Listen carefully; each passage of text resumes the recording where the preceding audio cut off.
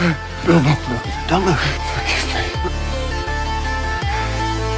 I was too late to see.